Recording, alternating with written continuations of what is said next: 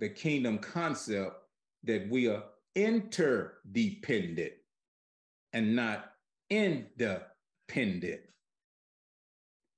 And pastors possess giftings to see what they need in others. See, one of the things about purpose is, uh, and we're going to get into it when we get into our gifts, your gifts are there and you have a purpose to make someone else life better, to support, encourage, and promote someone else into greatness.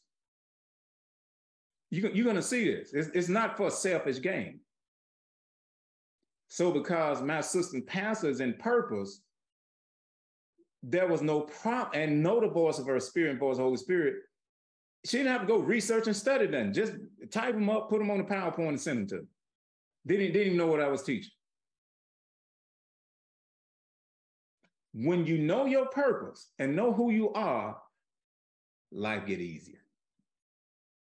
What you've been called to do is not a struggle. You just do it. You get it just like that. Now, bro, that's I, I was intending to let you know about that then, and I'm gonna, I'm gonna share some more on that after we get through teaching. That you are necessary. Come on, point to yourself say, I am necessary. Yes, I am.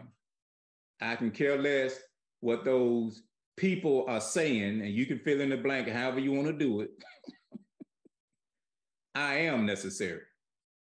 Somebody is waiting on you. Someone need what you get.